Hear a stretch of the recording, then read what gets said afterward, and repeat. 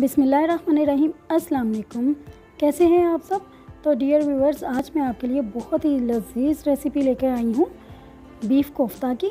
भी वीडियो की तरफ़ जाने से पहले अगर आप मेरे चैनल को विद दीबा पर न्यू हैं तो चैनल को सब्सक्राइब कर लीजिएगा और बेल नोटिफिकेशन को भी ऑल पर सेट कर लीजिएगा, ताकि मेरी हर न्यू वीडियो की नोटिफिकेशन आपको सबसे पहले मिल सके।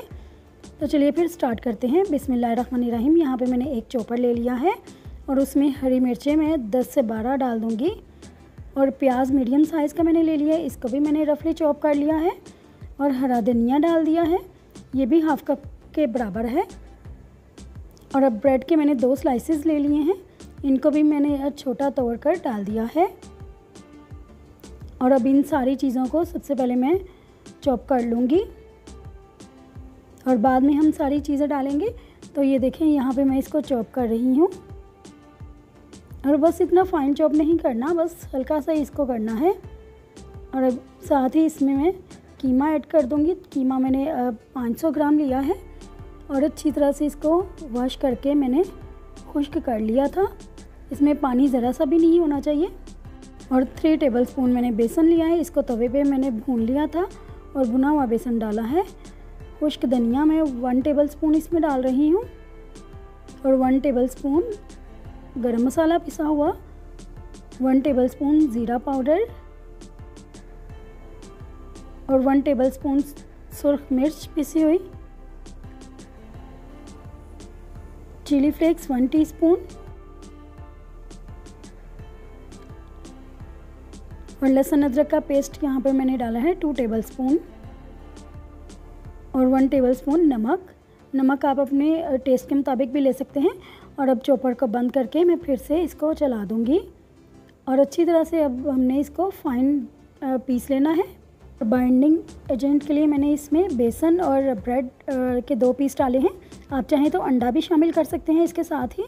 और अब इसमें मैंने टू टेबल स्पून ऑयल डाल दिया है, ताकि ये मज़ीद सॉफ्ट हो जाए। और ये देखें सारा जो हमारा अमेज़ा है वो एक बॉल की शक्ल में आता जा रहा है तो देखिए कितना अच्छा फाइन पेस्ट बन गया है। इस तरह से, और अब इस तरह से मैं इसका पोर्शन नॉर्मल सा उठा के तो बॉल बना लूँगी। इस तरह से प्रेस कर करके, और अच्छी तरह से प्रेस करके इसका बॉल बनाना है, ताकि वो खुल ना जाए। और देखिए कितनी अच्छी बाइंडिंग फॉर्म में आ रहा है बॉल बस इसी तरह से इसके बॉल्स बना लेने हैं। देखते हैं 500 ग्राम में हमारे कितने बॉल्स बनते हैं, ये नॉर्मल साइज़ के हैं। अगर आप चाहें तो बड़े भी बना सकते हैं। हाँ जी तो यहाँ पे मैंने सारे कोफ्तों को शेप दे ली है और तेईस कोफ्ते बनकर मेरे यहाँ पे तैयार हुए हैं। मीडियम साइज़ में मैंने इनको रखा है। तो चलिए फिर अगले स्टेप की तरफ़ चलते हैं। यहाँ पर मैंने एक पैन में ऑयल ले लिया है और इसको फ्राई कर लेंगे। फ्राई करके इसका टेस्ट बहुत अच्छा आता है और कुछ लोग इसको फ्राई किए बगैर भी बनाते हैं, लेकिन इस तरह से ये ज़्यादा अच्छे रहते हैं। और ये देखिए कितने अच्छे से ये फ्राई हो रहे हैं और कितना अच्छा सा इनका कलर भी आ गया है।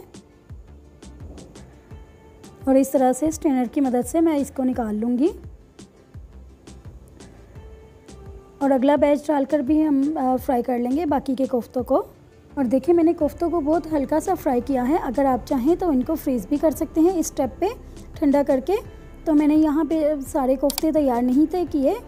बस आधे मैंने ग्रेवी में तैयार किए हैं और आधे मैंने फ्रीज़ कर लिए हैं। अगले स्टेप की तरफ़ चलते हैं। यहाँ पे मैंने एक वोक ले लिया है और क्वार्टर कप मैंने ऑयल का यूज़ किया है। और तीन मीडियम साइज़ की मैंने प्याज ले ली हैं और इनको डाल के तो फ्राई कर लूँगी। और अच्छी तरह से इसको एक कलर दे लेंगे गोल्डन सा। तो ये देखिए, यहाँ पे कितना अच्छा सा इसका कलर आ गया है।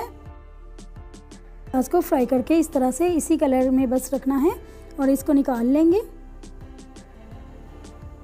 बस ज़्यादा डार्क ब्राउन नहीं करना, वरना वो अच्छा कलर नहीं बनेगा ग्रेवी का। अब इसको मैं एक मिक्सी जार में डालूँगी। ये सारा फ्राई किया हुआ प्याज इसमें डाल दिया है। और एक कप दही है मेरे पास, दही इसमें डाल के तो इन दोनों चीज़ों को ब्लेंड कर लूँगी और ब्लेंड करके एक फ़ाइन सा पेस्ट बना लेंगे। तो ये देखिए, इस तरह का इसका पेस्ट हमें चाहिए। अब इसको साइड पे कर देंगे और टमाटर जो मैंने दो मीडियम साइज़ के लिए थे, उनको भी इसी तरह से मैं पेस्ट बना लूँगी। जार में डाल के हल्का सा मैंने पानी भी डाल दिया था और पानी डाल के इसका पेस्ट तैयार हो जाएगा। तो देखें, ये दोनों स्टेप हमारे हो गए। तो अब हम ग्रेवी की तरफ़ चलते हैं। तो यहाँ पे उसी पैन में जहाँ, जिसमें हमने प्याज फ्राई किया था, उसमें छोटी इलायची मैंने चार अदर डाल दी हैं, एक बड़ी इलायची डाल दी है, दो दालचीनी के पीस डाले हैं, एक एक इंच के, और सात से आठ लौंग डाली हैं, और ज़ीरा वन टीस्पून डाला है, और अब इन सारे मसालों को रोस्ट कर लेंगे। हल्का सा एक अरोमा आ जाए इसमें। तो साथ ही मैंने लहसुन, अदरक का पेस्ट डाल दिया है। वन टेबल स्पून यहाँ पर मैं यूज़ कर रही हूँ। और इसको भी डाल के भून लेंगे।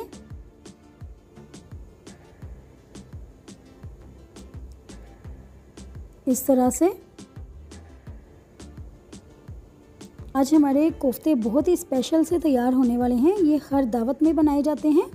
बहुत ही अच्छे लगते हैं बन बने हुए और बहुत ही आसान तरीके से मैंने आपको बताए हैं। तो अब साथ ही मैं टमाटर का पेस्ट डाल रही हूँ और टमाटर का पेस्ट डाल के भी इसको अच्छी तरह से भून लेंगे ताकि टमाटरों का टेस्ट इसमें अच्छी तरह से मिक्स हो जाए और इसको चार से पाँच मिनट के लिए पकाएँगे। तो कितना अच्छा सा इसका कलर आ रहा है। अब साथ ही मैं इसमें जो हमने पेस्ट बनाया था, प्याज और दही का, वो भी डाल दिया है। और इस पेस्ट के साथ भी इसको मैं 10 मिनट के लिए फ्राई करूँगी। और अच्छी तरह से इसमें ये सारा मिक्स हो जाएगा। और एक शानदार सी ग्रेवी बनेगी। लिए ड्राई मसाले ऐड करते हैं। तो इसमें मैंने वन टीस्पून सुरख मिर्च पिसी हुई डाली है और वन टीस्पून मैंने कौरमा मसाला डाला है। ये ऑप्शनल है। अगर आप ना डालना चाहें तो ना डालें। वन टीस्पून गरम मसाला पिसा हुआ और वन टेबलस्पून खुश्क धनिया पिसा हुआ और वन टीस्पून ज़ीरा कुटा हुआ डाल दिया है और हाफ़ टी स्पून हल्दी। और अब इन सारे मसालों को हम मिक्स कर लेंगे। वन टेबल स्पून मैंने नमक भी डाल दिया है। और नमक आप अपने टेस्ट के मुताबिक भी ले सकते हैं। अच्छी तरह से सारे आ, मसाले को मिक्स करेंगे। तो देखें कितना अच्छा सा ये मसाला तैयार हो रहा है और ऑयल भी ऊपर आ गया है। अब इसमें मैं तीन गिलास पानी के डालूँगी और पानी डाल के इसको अच्छी तरह से हम पका लेंगे। जब एक दो बॉयल आ जाएँगे तो साथ ही हम कोफ्ता डाल देंगे। तो कोफ्ते मैंने आधे यूज़ किए हैं, आधे मैंने फ्रीज़ कर लिए हैं। तो कोफ्तों को इसमें पका लेंगे और ये अच्छी तरह से इसमें पक भी जाएँगे और साथ ही कोफ्तों का पानी भी ड्राई हो जाएगा। अब मैं इसको लेड लगाकर कवर कर दूँगी और तकरीबन 15 से 20 मिनट के लिए हम इसको पकाएँगे ताकि कोफ्ते अच्छी तरह से अंदर तक गल जाएँ। तो ये देखें। 15 मिनट के बाद कोफ्ते इस तरह से बिल्कुल तैयार हैं और अब इसमें मैं स्लिट की हुई हरी मिर्चें डाल दूँगी, सात से आठ, और हरा धनिया डाल दूँगी कटा हुआ। तो देखिए कितने, देखने में ही कितने मज़े के लग रहे हैं। पाँच मिनट के लिए मैंने इसको दम पे लगाया था। तो ये देखें माशाल्लाह, अल्हम्दुलिल्लाह, हमारे कोफ्ते बहुत ही अच्छे बनकर तैयार हुए हैं।